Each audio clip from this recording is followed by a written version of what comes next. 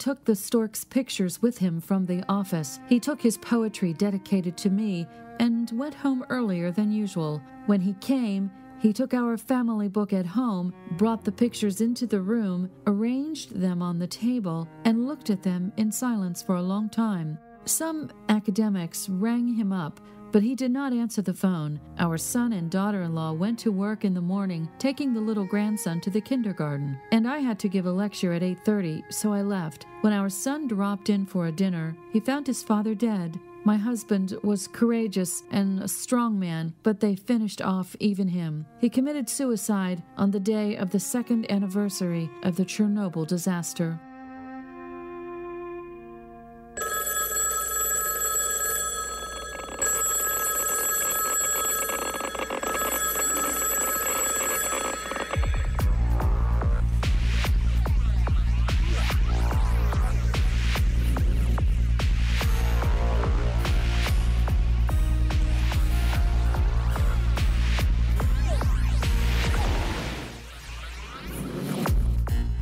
On the night of April 26, 1986, 24 minutes past 1 anti-meridian, the Chernobyl nuclear power plant was shocked by two strong explosions. It was the critical moment of my life. It was death. I understood myself what it is. The row B wall fell and the top of the reactor was seen. Can you imagine it? And there was the enormous neutron current. And it was such a glow, like, you know, gas stove burning, something like that. All the plant's radiation dosimeters went off scale. It was impossible to measure the radiation level. The chief detector told the shift engineer to go to the reactor hall to see what had happened. So we managed to find out that there's no reactor indeed, at the cost of one man's life. Well, literally during the first hours. We think that it was as if Ukraine underwent a nuclear strike. That was the war. Can you understand?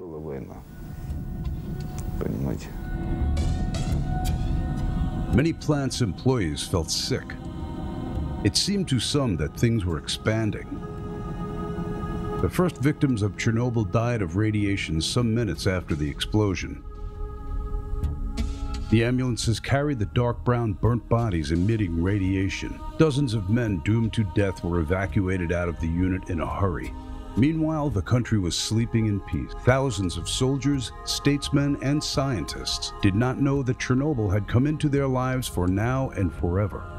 Moscow night operators got to know about the accident first. The control panel indicated the alarm signal from the Chernobyl nuclear power plant. The signal code started to change at an ever increasing rate one, two, three, four. That meant there was a fire, explosion, nuclear, and radiation hazard situation in there. Night telephone calls raised all the country's top leadership. They called me at 7 o'clock in the morning via government switchboard telephone when I was at the state villa. The caller was Mayorets, the Minister of Energy, Anatoly Ivanovich Mayorets. He said that there happened an accident at the Chernobyl nuclear power plant. An explosion had occurred. I asked him, Tell me plainly what has happened, what has exploded, etc. He said, I have been informed last night, so I do not know exactly. I said, Find out quickly what has happened. That morning, academician Legasov suddenly felt an intense longing to smoke a pipe, as he did in his far younger, foppish days. It was 8 o'clock in the morning. His wife was bustling about in the kitchen as usual. A spring day was starting outside. What shall I do today? Shall I go to the sub department at the Lenin Hills? Shall I forget about everything and take the family to the country cottage? Or shall I go to the meeting of the party officials and senior executives of the Ministry of the Middle Engineering? The habit overcame him. The academician Legasov went to the party meeting on Saturday morning of April 26, 1986. Academician Legasov's notes. Frankly speaking, the report was boring. Our elderly minister stated in a loud voice how good everything is at his office, singing odes to the atom for peace. He mentioned in passing, true, they have done it in Chernobyl now, kind of a minor accident, but it will not impede the progress of nuclear power engineering. In the meanwhile, the Kremlin was searching hastily for nuclear physicians to send them on the mission to Chernobyl. But on Saturday evenings, everybody was having a rest at one's country cottages. There was only one high ranking official related to science in the Moscow area that day Valery Legasov, Senior Deputy Director of the Kurchatov Institute of Atomic Energy. But he did not specialize in reactors. He was a chemist, though a nuclear chemist, a noted chemist, a Lenin Prize winner. Many people hated him. Being the son of an executive of Foreign Department of the Communist Party Central Committee, Legasov became an academician at the age of 45. He was happily married to a guard officer's daughter, a beautiful woman named Margarita. The Legasovs owned a detached house located at the prestigious Pekhotnaya Street, where the senior scientist lived. His neighbor and patron was the almighty head of the Academy of Science, Anatoly Alexandrov. Legasov was present at the party meeting, not knowing that at the very instant all his future destiny was being decided. The first injured persons had already been taken from Chernobyl to Moscow. It was a horrifying sight. The radiation damage so strong that people's skin came off when taking off their clothes. Why had not their clothes been changed before? There are a lot of questions. However, of course, people hope to survive until dying. Legasov arrived at Chernobyl that evening. The black motorcade of the Volgas was going at full speed from Kiev airport, and all of a sudden, at a distance some kilometers away from the plant, it slowed down. The newly arrived saw the phantasmagoria here is how academician Legasov would remember that. Well, in my conception, as I see it, a nuclear power plant is a structure that never spews out anything. Well, I do not know what to say. When one can see a nuclear power plant, it is a high pipe with no smoke there. And suddenly, the nuclear power plant and a glow, a reflected glow of burning hot graphite that is above the plant. Even not reaching the city of Pripyat, one could see the blood red sky that shone with a reflected light. That was not the reactor. It had never been like that. Legasov passed the Chernobyl plant's control post and almost at once changed the Volga for a military helicopter. He flew with Boris Sherbina, deputy chairman of the Council of Ministers of the USSR, an official and a scientist. From the height of 100 meters, they tried to examine the accident area looking through the glasses. The helicopter jolted strongly in the highly radioactive field. It could fall down at any moment. Shouting down the engine roar, Sherbina asked Legasov, There is a crimson color beneath. What is it? To which he got the answer, It is not a light, it is death.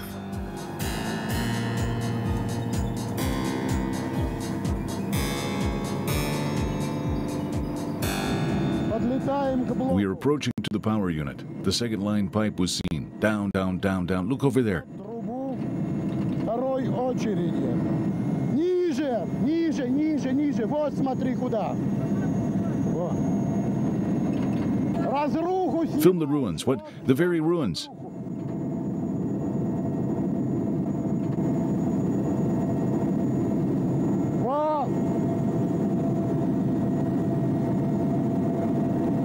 Up, you've got it. Catch the place and catch it. Catch where the smoke comes out, where, where, the, where the smoke is seen. Legasov understood that the worst thing had happened. The reactor exploded.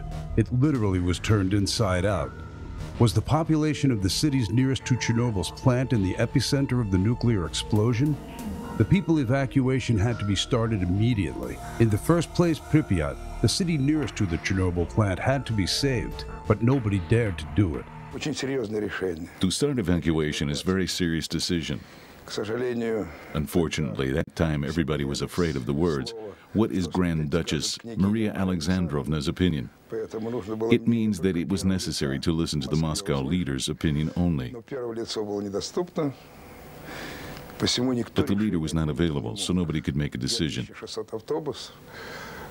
We delivered 2,600 buses, four trains for the purpose of evacuation. Everything was provided and supplied at once. They were in a few hours on the spot, and they were ready to evacuate people. But again, the leader's decision was anticipated.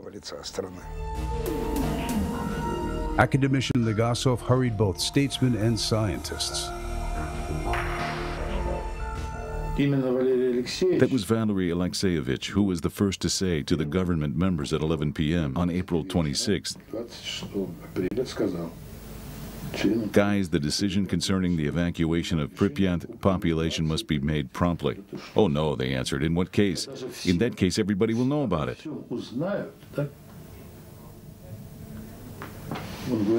He said, no, the decision must be made, or else we will kill so many people. Meanwhile, the reactor debris continued to live. They burned and the radioactive stench was taken with the smoke onto the surface. Millions of Curie. The spreading cloud of Chernobyl covered the territory increasingly. With a sigh of relief, Legasov saw the chemical defense troops entering Chernobyl on the night of April 27th. They were equipped with special armored personnel carriers, and the most important thing was that they had dosimeters designated for the case of nuclear war. Only then radioactive background could be measured. 1,000, 1,500, 7,000, 9,000 Roentgen per hour. A man spent several minutes in that field, then would die a dreadful death. Legasov took a dosimeter and came close to the destroyed unit using armored personnel carrier. Radiation coming from the reactor had to be stopped by all means. He understood that he would have to send dozens or even hundreds of men to their doom. Maybe he wanted to deserve such a right, did he not?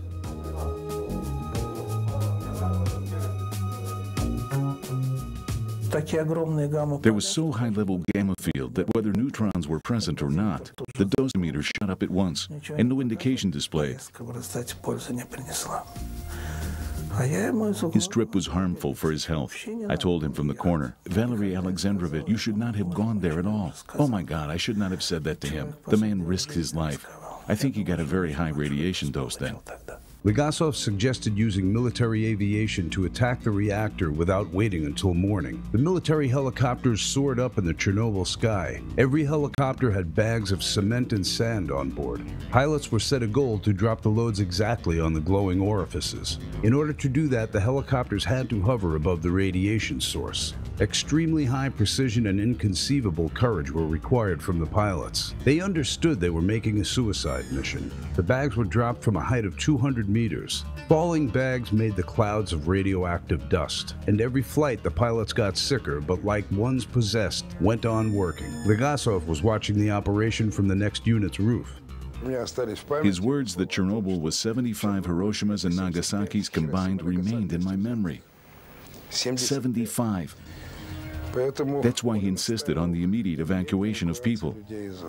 Only 36 hours after the explosion, Legasov managed to achieve his purpose. On April 27th at 11 a.m., the message concerning the general evacuation came through on the local radio of the Pripyat town. The only thing they said was that people should take the three days' supply of food and water and not to take anything else. Actually, even the refrigerators were not switched off. Not all who had alarm systems in their flats switched it on also. They remembered. Nobody said anything. Everybody was silent. And then there was a bustle. All were turned out of the houses, turned out at the pistol's point. Take your documents only and nothing else. We took our documents and left. From academician Legasov's notes, I understood that the city would evacuate forever, but I was not able to explain it to the people psychologically. Because I reasoned that if the evacuation was announced to people right now, it would take longer than planned and an increase in activity was already significant. The people would pack up their things for a very long time, and we could not wait. So I recommended, and Sherbina agreed with me, announcing that for the present we could not say how long the evacuation would be for.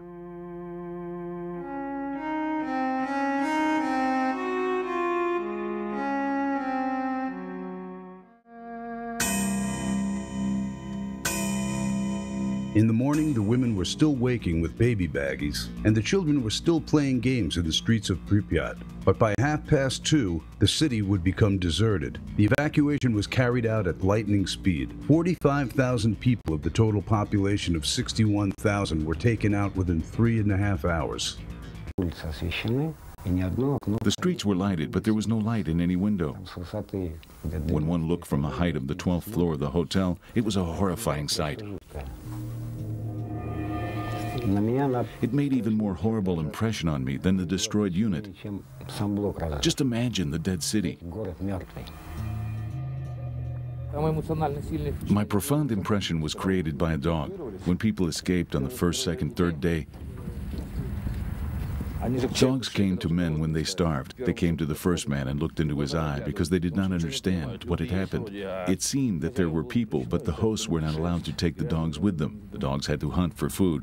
They caught a hen, brought it, and when they saw the man, they dropped it, understanding that they should not have touched the hen. Then, when the man passed, they would take the hen again. Despite the pilot's efforts, radiation was not stopped. The nuclear fuel remaining in the reactor became hot. Its temperature increased, getting to 2,000 degrees Celsius. And all this burning hot mass was above the water reservoir that was under the reactor. Gloomy and angry, Legasov smoked without interruption and made manual calculations on paper. Soon, the calculations confirmed his worst assumptions. If the fuel melted down the floor and got to the water, the second explosion would occur at Chernobyl nuclear power plant, after which there would be no living thing within a radius of 100 kilometers.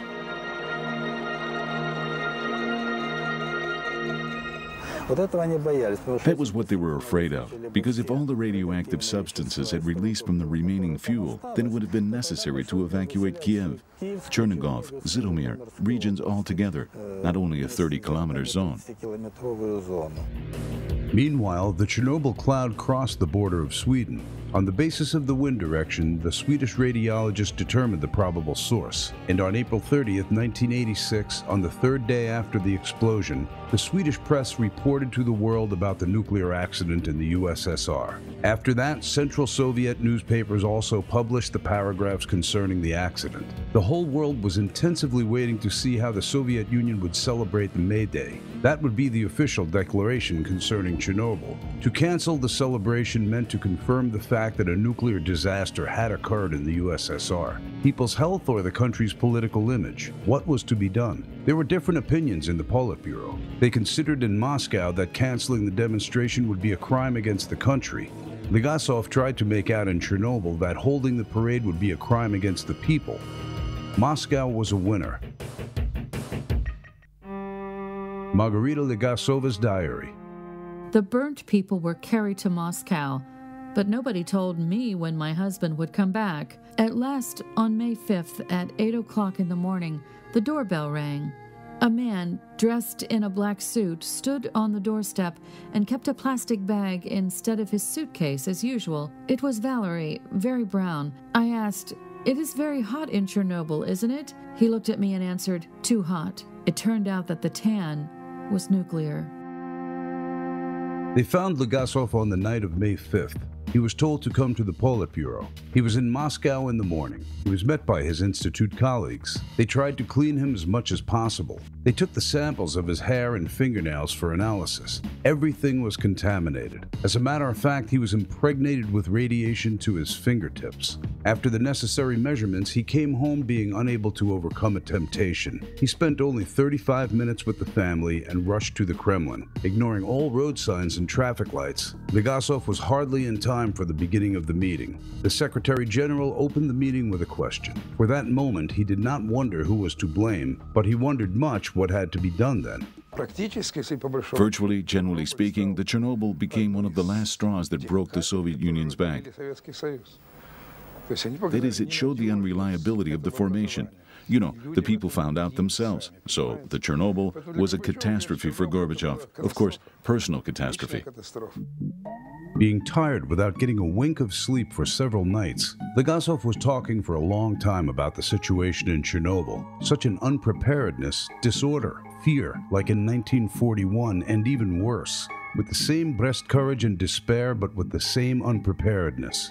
He said that for the moment, the situation had not been stabilized. The Politburo members discussed whether to increase the population's maximum permissible radiation dose 10 or even 50 times in special cases.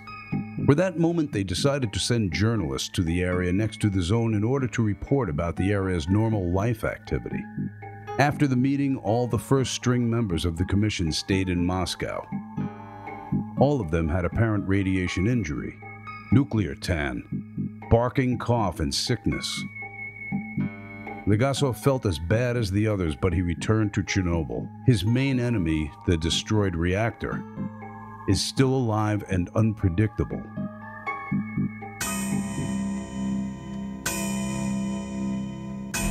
The temperature beneath the debris continued to increase. One did not manage to stop it.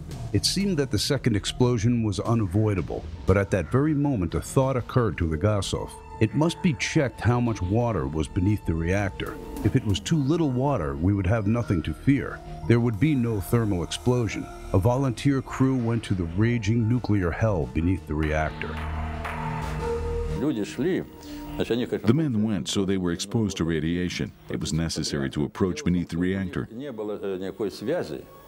The fact was that they had no communications, and they were waited for. Well, the door was opened approximately at half past two at night. And such a man as Gortsakov came into the office first. He looked completely aloof, so when Siliev asked him what was in there, Isakov said, sinking heavily into the chair in a state of complete fatigue, that there was just 200 tons of water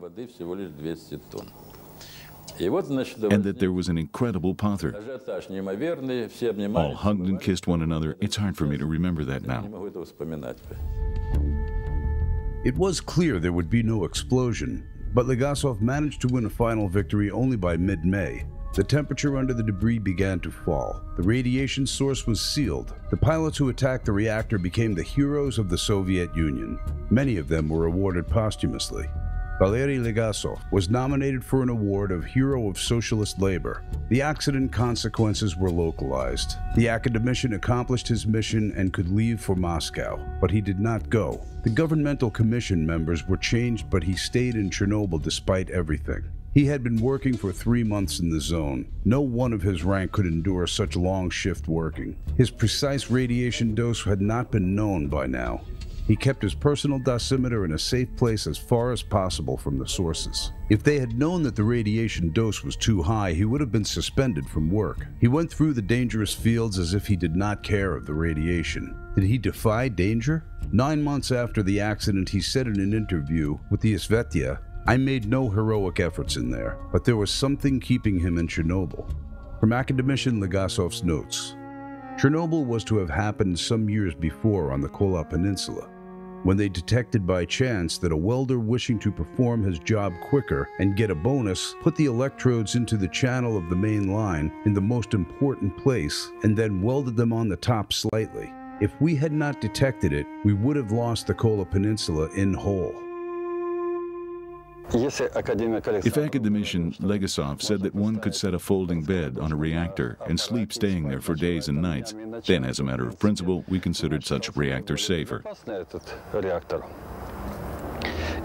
So we displayed, it is to say, some neglecting and disregarding in respect of radiation safety. It was so at any time and place. Nuclear engineer circles assigned a part of Cassandra to Legasov.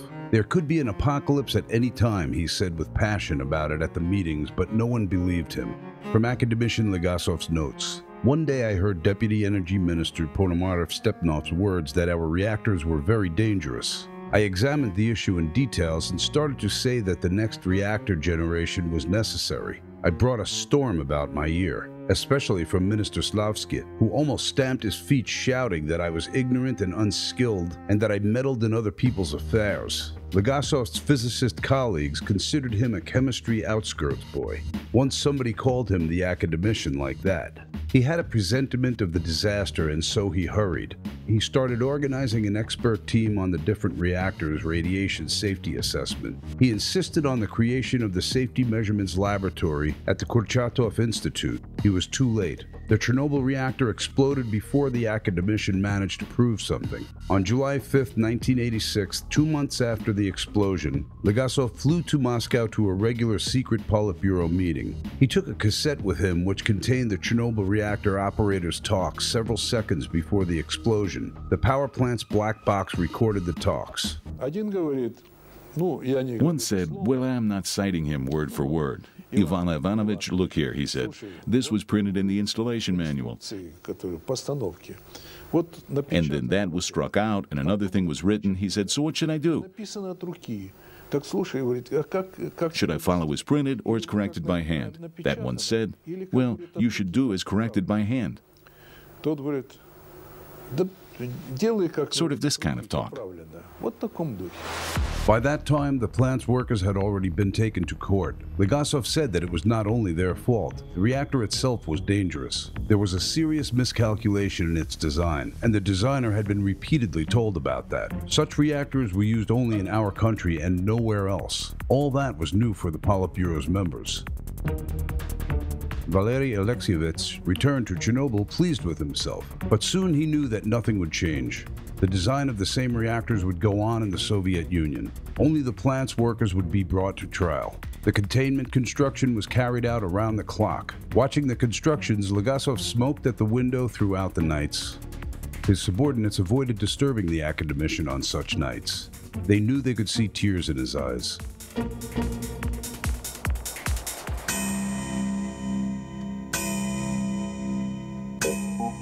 First, second, the third, the fourth.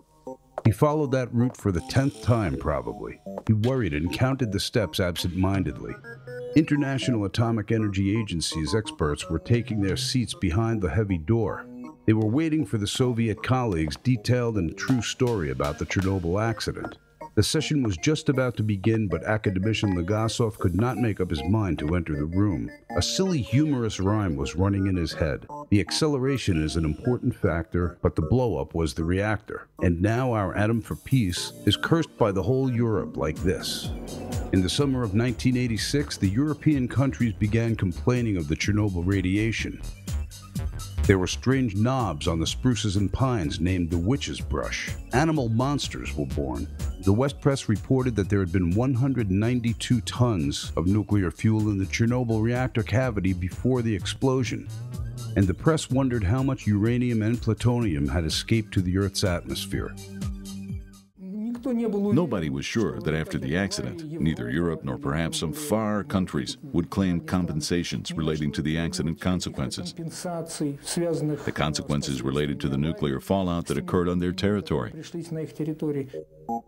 The Politburo told Legasov to make excuses to Europe.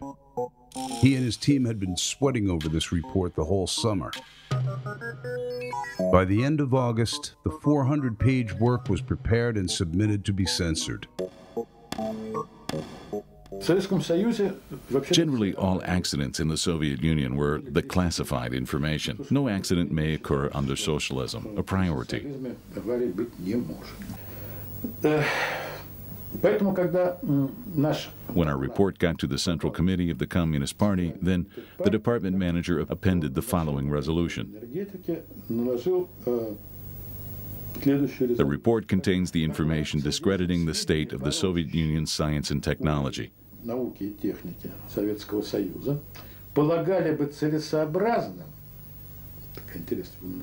The authors are thought to be brought to criminal responsibility and the responsibility to the Communist Party.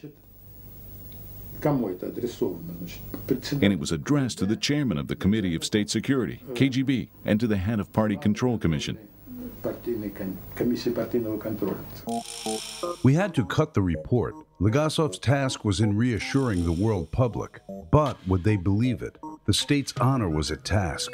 The academician was on firm ground in the world of formulae and even in the radioactive fields of Chernobyl, but he was a dilettante in politics. That is why their last steps were so hard for him that moment. The ninth, the tenth, it is time.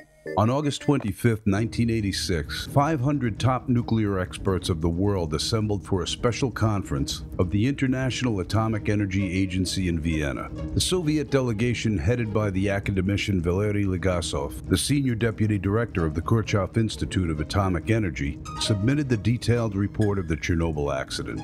Legasov behaved confidently. There was not a shadow of doubt on his face. He emphasized that only 3% of the fuel had left the reactor. It was not too much on a world scale. He talked in details about the unique radiation pollution control technology. The report lasted for five hours. At the end of the report, the audience gave him a standing ovation. The world that hated us for Chernobyl had taken off their hats to him, writes the Perestroika Press later. The International Atomic Energy Agency's experts were satisfied with the Russian academician's reports. There were no blames to the USSR. Valery Legasov became the man of the year and was included in the top 10 of the world's most famous scientists. It was a triumph.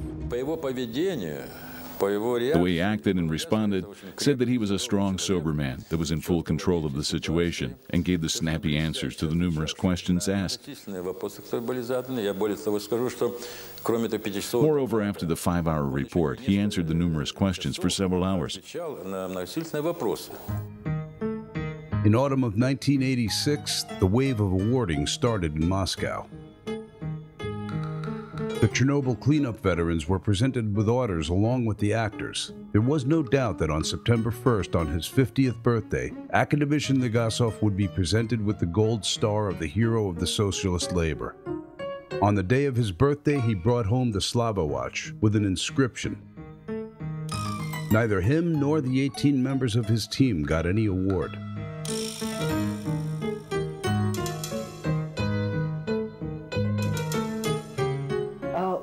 But I was rather prejudiced against him, like to one of those who lied to us, you see. He was one of many for me. He was a representative of the system. And further, when I saw the documents signed by him, I changed my mind in general.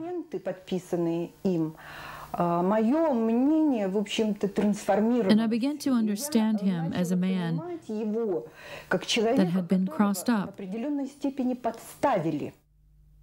Chernobyl, the autumn of 1986. Some rare shots. Academician Legasov is laughing. A journalist's question made him laugh. Is it harmful for health to be in Chernobyl? Well, will I be able to have children then? Is it okay for me? It is now since when you will be able to have children. You have a child, I tell you. I have been working with radiation sources since 1964, and I have children. It is all right concerning this thing, so do not worry.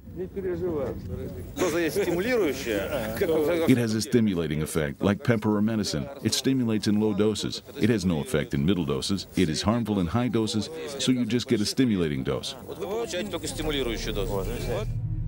His own dose had already been lethal. From Margarita Legasova's diary. He constantly coughs. He eats little or nothing. He feels sick. He cannot stand the kitchen odors. He grows thin quickly. He is constantly in a bad mood. He suffers from insomnia. He goes to sleep at 11 p.m., but gets up in an hour or an hour and a half. He runs out, lights up a cigarette, and drops one cigarette after another. You can be without sleep for one day or two days, but if you have not been sleeping for a year and a half, it is terrible. On the eve of the new year 1987, a terrible assumption visited the Legasov's place like a judgment cancer.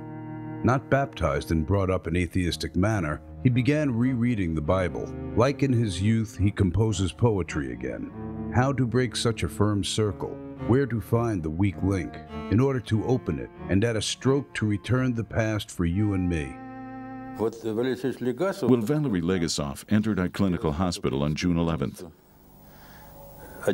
and stayed there until June 19, 1987. When in hospital, his status was assessed as a deep reactive state with depression tint, against the background of high defatigation and frustration caused by the complicated crisis situation. In summer 1987, the information came as a bombshell. At last, the stalkers managed to clear the debris to get inside the Chernobyl reactor and send sensational information to Moscow. There was no fuel in the reactor, but there were huge bags of sand dropped from the helicopter everywhere. Nuclear circles animatedly discussed the news. There was an opinion that the helicopter bombing suggested by Legasov was a fatal mistake. Even if the bags hit the target, it would be pointless anyway. There was no fuel, so there was no second explosion hazard. So did Legasov and his team fight against emptiness? Did the pilots all without exception lose their lives in vain? When we got to the reactor cavity and saw that there was no active zone and that the reactor cavity was empty, no idea would have occurred to one concerning dropping anything there. All these decisions were made of inadequate perception of reality in the absence of reliable information. It was a wrong decision, which has not led to anything good. It was just a certain man's mistake. Well, nobody's perfect. Even an academician can make a mistake. Perhaps academician Legasov felt those days that his world had collapsed. His friends consoled him, saying that the issue of the fuel is complicated and disputable. His enemies immediately delivered their judgment. How was that? Did the scientist of worldwide reputation make dozens of people go to their doom and then lie to the whole world, inducing a thunderous applause? On the night of August 29, 1987, being already in the hospital, Valery Legasov took a lethal dose of sleeping medicine. At school, he was expected to have a brilliant future. Only once he made trouble in a big way, but how it was, being a secretary of the school, the Young Communist League, he rewrote the rules of the All Union Leninist Young Communist League because he considered that the rules currently in force were very bad. Only Stalin's death saved a cheeky schoolboy. These pictures were on the wall at Legasov's office. One photo showed a nuclear plant, the other showed storks. The academician's favorite subject was an academic question of whether it was possible to combine wildlife with modern production. In the old days, one sought salvation in technology, but now one seeks salvation from the technology. His suicidal attempt failed. The doctor saved Legasov's life, and soon he would be absorbed in his work. Well, people discovered fire, someone who was there first. I do not know, a bonfire, welfare. Then they learned how to warm themselves near the fire, and they learned how to roast food, a great welfare. But it had been a long way to go until people were able to use the fire in a modern manner. Then conflagrations and other troubles began. What a sin it was for a man who wanted to warm and provide himself. What was the main cause of the Chernobyl accident? Legasov collected information, analyzed and put down his conclusions. He felt that his strength was failing him, so he hurried up. For this time he had no right to be late. He must be heard. It is the call of my duty to tell you all about it. That was the name of the article for Pravda that was written by Legasov in autumn 1987. He stated that nobody is seriously engaged in nuclear industry safety. The Energy Ministry and the Ministry of the Middle Engineering fought against one another, and the officials of the newly created Gosatomnadzora have been doing their best to get offices, positions, flats for themselves from their superiors that had little influence on the nuclear energy quality. The Chernobyl accident was a pinnacle, a peak of an improper management over dozens of years. Legasov concluded the staunch communist, having a 30 year experience, encroached upon the Holy of Holies, the economic basis of the Soviet state. Legasov's article was quite in the spirit of the perestroika, but nobody liked it and it was not published. Then he took a dictating machine. He was alone at night in the silence of his office, so he was able not to think of censure and use strong language. From academician Legasov's notes, it turned out like there is no guilty in the world story by Tolstoy. Not only one person was guilty of the accident. The plant's workers made many blunders. The designer was told about the reactor drawback many times, but he wished no additional work. But the main criminals were not the staff, and even the designer, but the Gosplan, State Planning Committee management. They were shown that it was dangerous to build nuclear plants without containment, but they did not care a fig, because the containment increased the plant's cost by 30%. All the world's accidents develop on the same scenario. The mistakes are accumulated, the insignificant errors, every one of which is not dangerous by itself. But then there are a lot of them, and finally a critical mass occurs. Then a disaster happens, whether at a nuclear plant, on board a plane, or in one man's personal life. His wildest dream was in creating the Technological Risk Institute. But the institute was not created due to many reasons, so no man is a prophet in his own country. It happens so often. You see, many ideas expressed were not clear at all. Moreover, I stress the Soviet Union's official philosophy generally excluded the very concept of an acceptable risk. Valery Alexandrovich was worried very much about the complications in respect of the institute creation. But soon good news came. Anatoly Alexandrov, the head of the Academy of Science, officially announced at the Kurchatov Institute staff meeting that Valery Legasov had been nominated to the title of Hero of Socialist Labor for the courage displayed during the containment of the Chernobyl accident. Alexandrov hugged the scientist, and after that, the colleagues congratulated the academician heartily.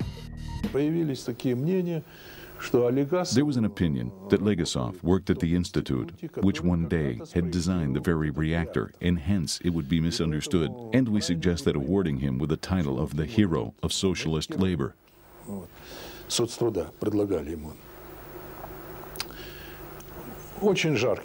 There was a hot discussion, and the majority of our group members supported his award.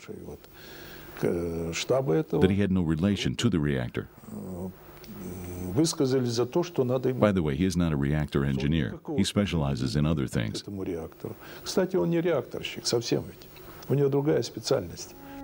A decree was issued the next morning. Legasov's name was not in the list of receivers. And here is the result my uselessness. This sad line appeared in Valery Legasov's poem, written in 1987. And in another poem, I cannot keep on living. Last months, he felt so poorly that the burning cigarettes dropped on his clothes. His fingers cannot support such a load. He is apathetic, and no good news or events make him happy anymore. However, Legasov made one more dash. He developed the plan of the Soviet designated to eliminate the stagnation in science. And on April 26, 1988, he submitted the plan to the Academy of Sciences. The plan was rejected. It is a pity that we did not learn a lesson from Chernobyl, the academician said that day. He took his stork's pictures with him from the office, took his poetry dedicated to his wife, and came home earlier than usual. That was a special day, the second anniversary of the accident at the Chernobyl nuclear power plant. He took the family book, arranged the pictures on a table, and looked at them in silence for a long time. The phone was ringing off the hook, but he did not answer it. His wife and children went to work in the morning, taking little grandson to kindergarten. When his son dropped in for dinner, he found his father dead. It was impossible to unbind the knot of the string, an interrogator would later say.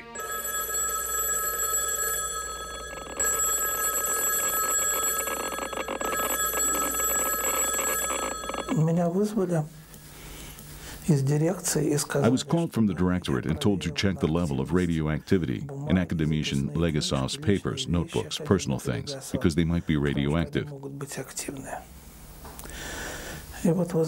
And you see, when checked them all, put the things on the table, polyethylene, of course. The radiation was at his office. Virtually everything was highly radioactive. I still remember the Geiger counter sound, the empty room, and the recording counter. My life was a struggle in which I was beaten. Not only beaten, but downtrodden, with such broken destiny, cursing and damning it. I'm so thankful for you only for you being such as you are.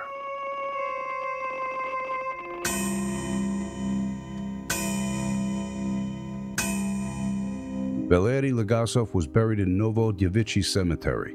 The obituary notice in Pravda said that the Soviet scientist had undergone bereavement, but it did not mention that the scientist had committed suicide. And in three weeks, the very Pravda published the article, It is the Call of My Duty to Tell You About It. And 10 years after the Chernobyl tragedy, Valery Legasov will be a holder of the Gold Star as the hero of Russia for his courage, fortitude, and heroism.